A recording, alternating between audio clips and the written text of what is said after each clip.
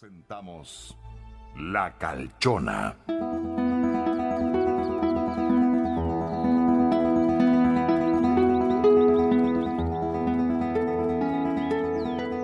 Tome, mi niña, coma, coma, coma, coma. Eh, Aquí tiene lo que le gusta.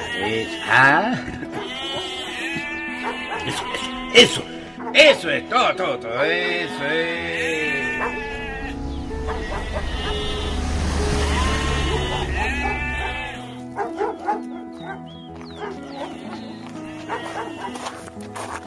¡Don Lautaro!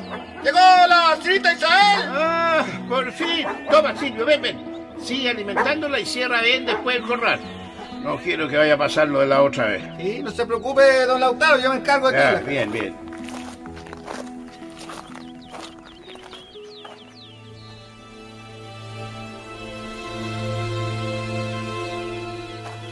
Hija, qué alegría, me teníais preocupado. Dime, ¿por qué no habíais venido?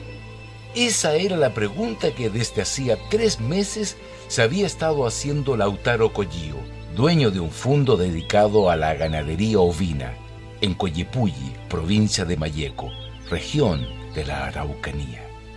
¿Por qué Isabel, su única hija, el amor de sus amores, no había ido a verlo en tanto tiempo? Cosa bastante rara porque Isabel era muy apegada a él principalmente después que su esposa Elena muriera. La muchacha estudiaba medicina veterinaria en Santiago y solía visitarlo cada 15 días. También resultaba extraño que de llamarlo a diario por teléfono, en el último tiempo solo se había comunicado con él un par de veces. Lautaro Collío saldría de la duda más pronto que tarde. Ay, papito. Él es Julio, mi novio. Ah, Buenas tardes, señor. Un gusto conocerlo. mijita, ¿este hombre no será demasiado mayor para usted? Papá, por favor, pues. Eh, disculpe, don Lautaro, no lo tome a mal, pero Isabel ya es mayor de edad y, y yo tampoco soy un viejo. Mayor de edad será. Pero igual podría ser su hija. Ya, pues, papá, córtela, pues ya. Ya, pues. Eh, ven, ven, mi amor. Te voy a presentar a mi tía, Violeta. ya, vamos. Uno siempre quiere lo mejor para sus hijos, sobre todo en materia sentimental, más aún cuando se trata de la princesa de la casa, la niña consentida de papá, la que solo debe enamorarse de un hombre que esté a su altura y no de cualquier pelafustán que se aproveche de ella y luego la deseche como si nada.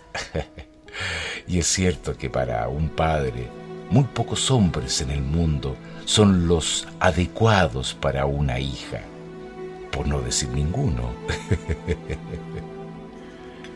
Ay, este estofado de cordero está delicioso, la verdad. Gracias, lo preparé yo misma. Esta era una receta de mi mamá. Ah, ¿sí? ¿cierto, papi? Mm, sí. Mm, mm. A decir verdad, ese era el único sonido que salía de los labios de Lautaro. Mm. Desde que todos se sentaron a almorzar.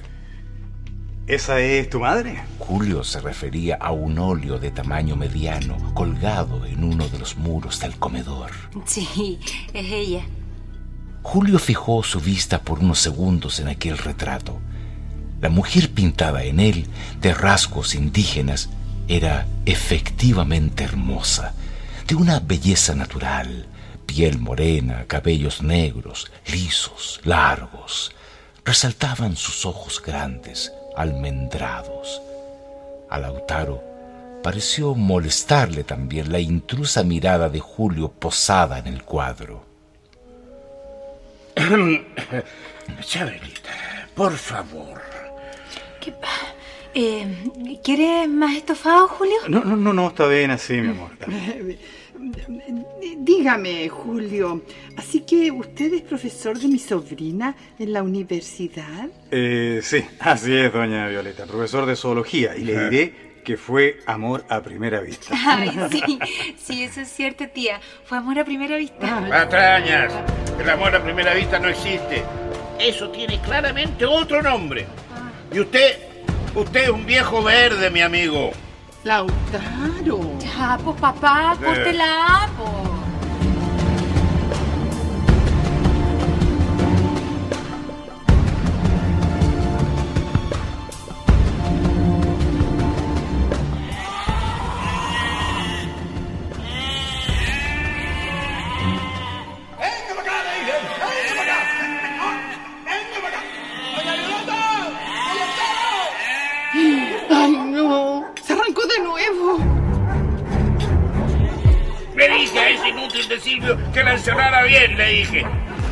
Violeta.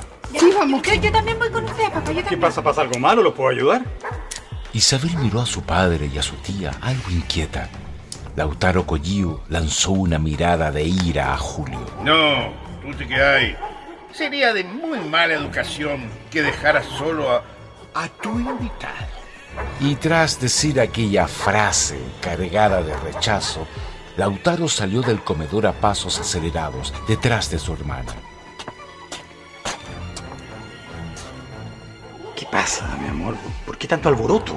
No, nada, no, no. No te preocupes si, si es solo uno de los animales que se escapó.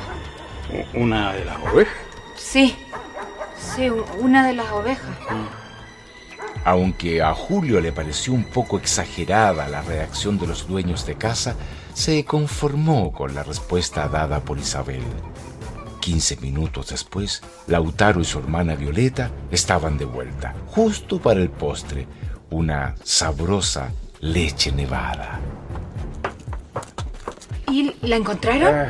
Ay, sí, gracias a Dios, sí. Rompió el cerrojo. Silvio ya lo está reparando. Oiga, ¿y usted, señor, se va a quedar todo el fin de semana con nosotros? Eh, Ay, papá, bueno, ¿qué, qué pregunta? po? Obvio que sí. Ya. Bueno, me cansé. ah, ah, discúlpenme. Terminen sin mí. Me voy a mi dormitorio. Ay, qué viejo más desagradable, pensaba Julio. Se notaba a la legua que no era bienvenido en su casa. Pero ¿qué podía hacer? Isabel había insistido en que debían conocerse. Y a él, ella le interesaba en serio. Es cierto que él le, le doblaba la edad, pero congeniaban perfecto. Lautaro Collío tendría que aceptar el noviazgo. Después de almuerzo, Le preparé la pieza de alojado para que duerma la siesta. gracias, pero me va a disculpar, no, no acostumbro a dormir la siesta. Bueno, entonces va a tener que buscarse una entretención. Porque a esta hora todos nos acostamos un rato. Ah, sí, ya entiendo. Eh, ¿Tú también, Isabel? Ay, sí, mi amor.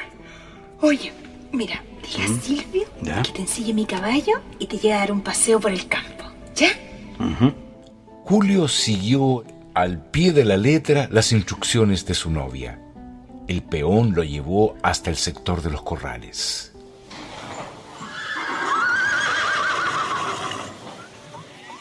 Ovejas corrietadas. Mm. Sí, buena lana, buena carne, buena leche. ¿Y cuántas cabezas tienen ustedes acá? Y no, ni tanto, de unas 300 nomás, hay- hay 12 preñas. Ah, ya, ya. Y, y cuéntame, ¿siempre hacen tanto escándalo tus patrones cuando una de las ovejas arranca? No, son re buenos patrones, no, si solo, solo cuando se sabe la que está allá en el otro corral. A esa la tienen solita, ahí cerca de la casa, se llama Isaíta. Ah. ¿y por qué, oye? ¿Tiene algo especial esa oveja? Es que... Silvio, déjate de andar perdiendo el tiempo. Anda a limpiar el gallinero, será mejor.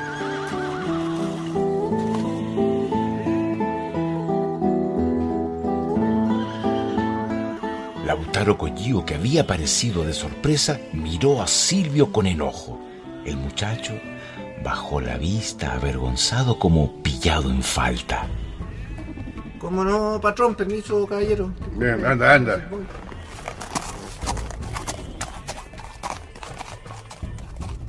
¿Y usted no sabe que no hay nada más molesto que una visita metiche, intrusa, copuchenta? Eh, disculpe, disculpe. Lautaro, discúlpeme, solo quería conocer un poco y mirar el rebaño. Recuerde, yo soy veterinario. Ya le digo que tenemos veterinario. Lo espero en la casona. ¡Ay, qué familia más insoportable! Si no supiera que para Isabel era importante estar ahí, le pediría que regresaran de inmediato a Santiago. Cuando Lautaro se hubo ido, Julio regresó con toda calma a la casa. Cuando iba llegando...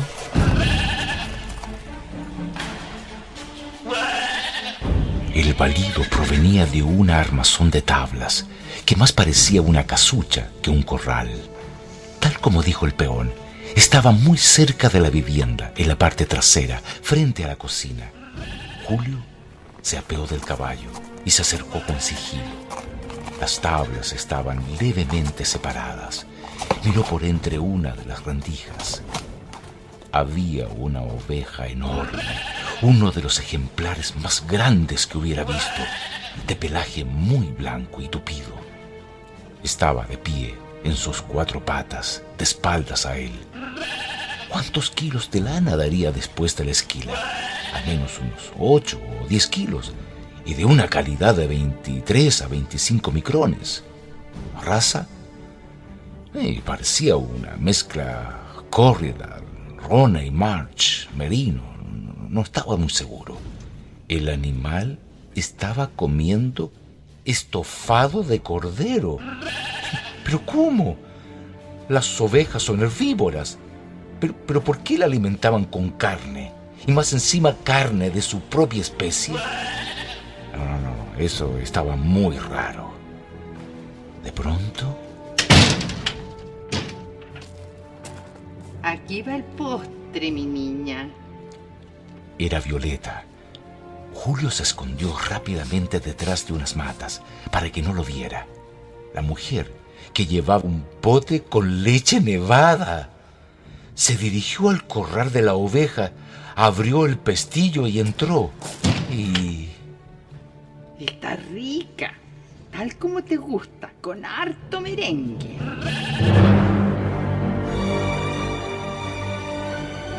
Pero por favor, ¿acaso esa gente quería matar a esa pobre oveja con esa alimentación tan inadecuada? No, no, no, no, no, hablaría con ellos. Era su deber como veterinario. Aunque el viejo Lautaro se enojara con él. Decidido, entró a la casa. Escuchó entonces la voz de su amada en el salón. Hablaba con Lautaro. El tono que usaban lo intimidó y no se atrevió a interrumpir. Se quedó rezagado en el corredor. ¿Por qué no me avisaste que vendría con, con ese tipo? No es un tipo, papá, es mi pololo. Yo quería que lo conociera y pues porque la cosa va bien en serio para que sepa. Sí. Estamos súper enamorados. Pero, hija. Además, no creí que hubiera tantos problemas. Tú sabes que ella percibe cuando alguien extraño llega a la casa. Sabe cómo se altera. Y sabes también los riesgos que corremos. Hay secretos que solo deben quedar en familia. Pero Julio me ama, pues papá. Quizás podríamos contarle. No sé, quizás hasta podría ayudarnos, pues. Ayudarla a ella. Él es un veterinario con experiencia, papá. ¡No! ¿De qué hablaban padre e hija? ¿Cuál secreto era aquel que debían guardar solo para la familia? ¿Tenía que ver con la oveja esa? Escuchando a escondida. Ah, eh, señora Violeta, eh, disculpe. No, no, no, no, por supuesto que no. Yo no. Miren quién estaba aquí escuchando lo que hablaban. Bien malas costumbres tienes tu novio, pues, mijita. Y eso que está harto grandecito. Julio. A ver, a ver, ¿qué, qué, qué fue lo que viste? El instinto le indicó a Julio que era mejor mentir. Nada. Na- na- nada, nada, nada. Estaba por entrar cuando llegó tu tía. ¿Sabes qué, mijita? ¿Por qué no lleváis a tu novio a dar un paseo por el pueblo, ah? Allá lo va a pasar mejor que aquí. Era evidente que Lautaro lo quería fuera de su vista a toda costa. A regañadientes se subió al auto y dejó que Isabel condujera hasta Coyipulli. Estuvieron el resto de la tarde visitando los atractivos turísticos de la zona. El convento franciscano, ubicado en el sector urbano, el puente sobre el viaducto del Mayeco, el balneario La Esperanza y el salto del Chanchagua.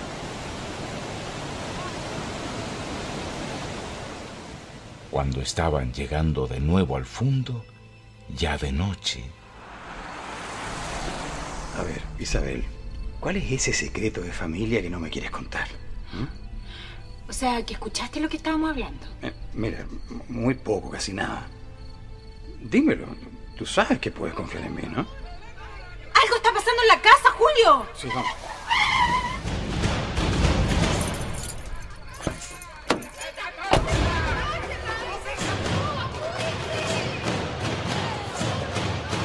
Cuando se bajaron del auto, el ambiente estaba evidentemente alterado. Lautaro abría las puertas de todas las habitaciones, asustado. Lo mismo hacían Violeta y Silvio. Papá, ¿qué pasa? ¡Escapó! ¡Escapó! Llevamos horas buscando y nada. Ay, no puede ser. Sí, sí, es, es, es, y todo es culpa tuya, Isabelita. Si no lo hubierais traído. Ya, escucha, papito, perdóname, por favor. Te juro, te juro que no quise que ella se alterara. Ah, sí. A, a- a ver, oigan, oigan, yo no quiero parecer un insensible aquí, pero todo este tremendo escándalo es por una simple oveja. Mire, usted cállese, que no tiene idea de nada. Son asuntos familiares. Julio, molesto por la desconsideración de que era objeto en aquella casa desde que llegara, salió al exterior con el claro propósito de subirse al auto y definitivamente volverse a Santiago. Al llegar al patio, alguien lo agarró por detrás con fuerza, le tapó la boca. Ya, ya, tranquilo. Oiga, discúlpeme, señor, pero tengo que. Yo tengo que advertirle acerca de algo, ¿ah? A ver, algo, hay, hay algo. Pero qué cosa, por Dios, hombre. Nadie quiere decirme nada de esta casa. Los detalles en este mismo instante no puedo dárselos. Me pondría de patita en la calle, pero. Pero mire, quédese en su pieza y cierra la puerta con llave, ¿ah? A la ventana, pásale el seguro. Pero por ningún motivo vaya a salir, ¿ah? Pero si, si la calchona lo ve y le pide de comer, dele lo que tenga, lo que tenga en el bolsillo, lado. Pero qué, qué- la calchona. Pero qué, qué- qué- quiere la calchona, hombre? La oveja. Silvio, ¿dónde te metiste? Ven a ayudarnos.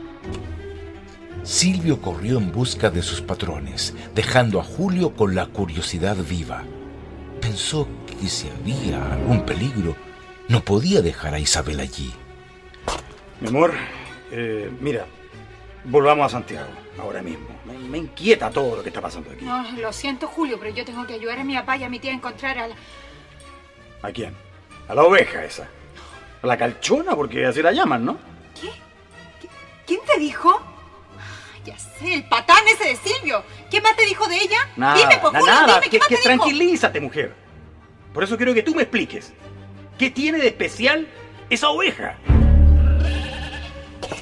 Por ahí anda. ¡Papá! ¡Tía! ¡Por acá! ¡Por acá está! ¡Qué loco todo! Si hasta su querida Isabel parecía haber perdido el equilibrio en aquel lugar. Necesitando urgentemente un poco de paz, se encerró en su pieza. Allí estaría a salvo de las manías de la familia Collío. Se desvistió y se metió dentro de la cama.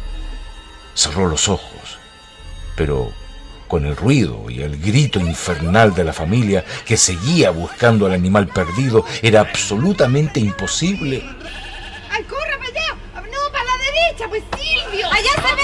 ¡Allá está! Vaya, vaya, vaya. Pero, ¡Silvio, ayúdame! ¡Ay, ay! ¡Ya! pues! pues. se sobresaltó. Era la oveja, sin duda. Su balido se escuchaba muy de cerca. Debía estar afuera, bajo su ventana. Por allá, por allá. Vamos, vamos. ¡Vaya! ¡Por allá está! ¡Corriendo, Venga, vamos, Vamos, apúrense rápido. vamos, Vamos, vamos. Julio se durmió escuchando ruidos en la casa hasta muy tarde. Evidentemente los demás estuvieron buscando a la famosa oveja hasta la madrugada.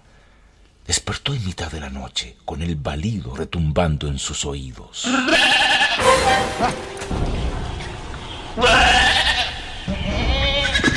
Al abrir los ojos, vio que la puerta de su habitación estaba abierta y él la había dejado cerrada. Se sentó en la cama, inquieto. De nuevo, entonces, vio que algo se movía detrás de la puerta. Era la sombra de algo. Y lo peor, el balido provenía de eso. Era la calchona. Con la oscuridad no distinguía sus rasgos, pero sí su forma. Era un bulto enorme que comenzó a moverse en dirección a él. Julio estiró entonces su mano hacia la pared y...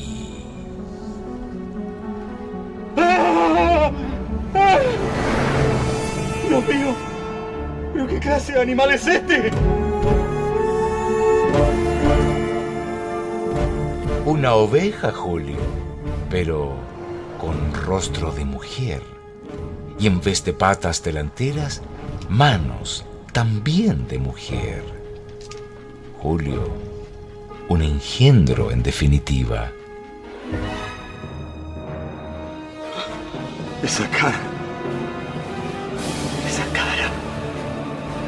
He visto esa cara. El singular animal, mitad oveja, mitad mujer, comenzó a acercársele a él, mirándolo de manera suplicante, como pidiéndole algo. Entonces recordó las palabras de Silvio. Pero si la calchona lo ve y le quiere comer, dile lo que tenga hoy. Julio entonces se bajó lentamente de la cama para no alterar más a la oveja. Tanteó su bolso y comenzó a buscar dentro de este. Un chocolate. ¿Dónde está? Juro que tenía un chocolate aquí en el bolso. Pero no encontró nada. La oveja entonces comenzó a embestirlo con fuerza, con rabia.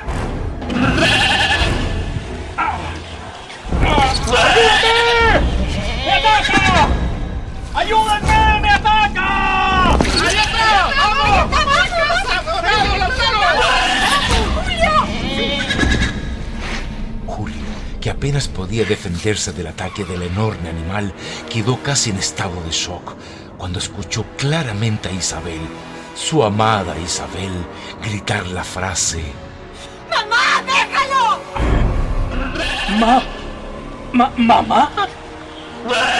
Y entonces Julio hizo la asociación correcta. El rostro de mujer que tenía ese enorme ovino al que llamaban la calchona era el mismo que estaba pintado en el cuadro que colgaba en una de las paredes del comedor. La misma piel morena, los mismos ojos almendrados. El retrato de la madre de Isabel, la esposa supuestamente muerta de Lautaro Collío.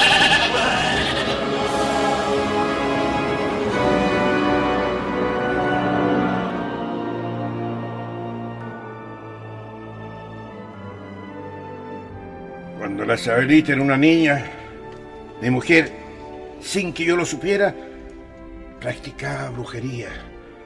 Y, y aunque yo creía que tenía otro hombre, es porque salía todas las noches, era brujería. Una vez, Lautaro despertó y en la camita de la Chabelita, en vez de la niña, encontró un zorrito Sí, sí.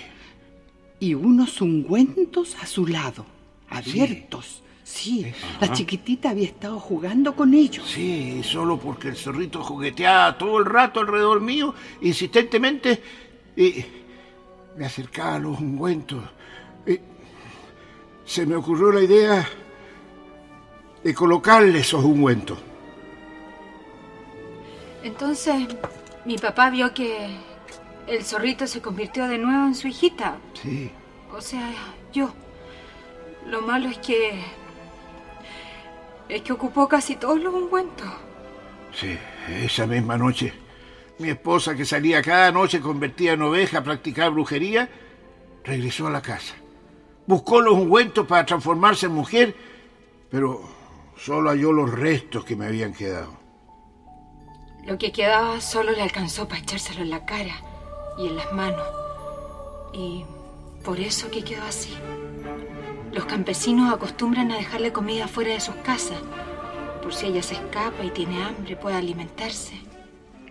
Pero no podemos arriesgarnos a que alguien que no sepa la leyenda la atrape un día y la mate. Sí. Y ese era el secreto familiar que, que ustedes Exacto, guardaban sí, sí. Ese, ese sí. Mm, Sí, entiendo, ese. Entiendo perfecto.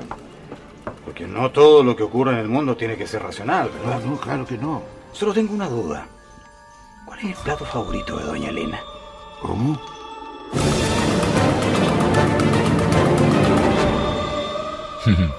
La pregunta sorprendió a los Collío, principalmente a Lautaro, que levantándose palmoteó la espalda de Julio con singular simpatía. Eh, eso me gustó. Bienvenido a la familia, Julito. Bienvenido.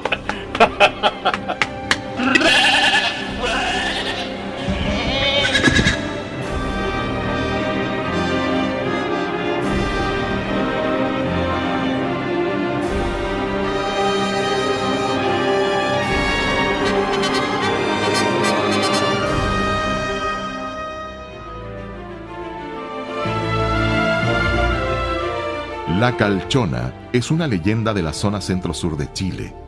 Se dice que es un ser mitad oveja, mitad mujer.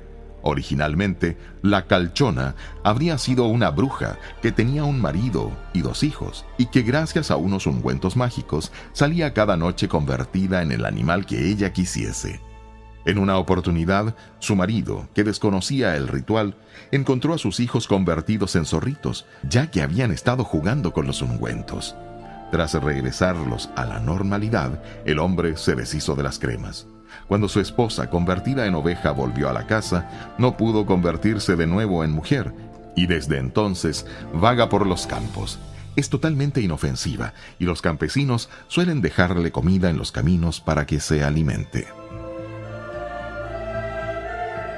Fue La Calchona. En el Gran Radioteatro de Agricultura. Libreto y dirección.